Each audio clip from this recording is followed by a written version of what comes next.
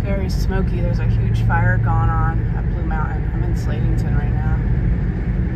Look at all that smoke. I can smell it too.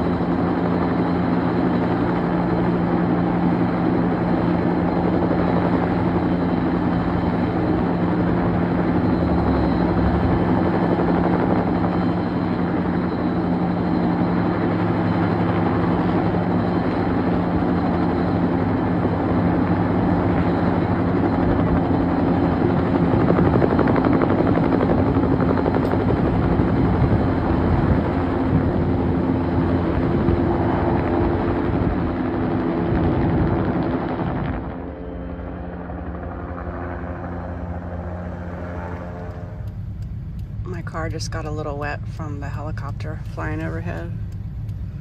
Man, it's so sad.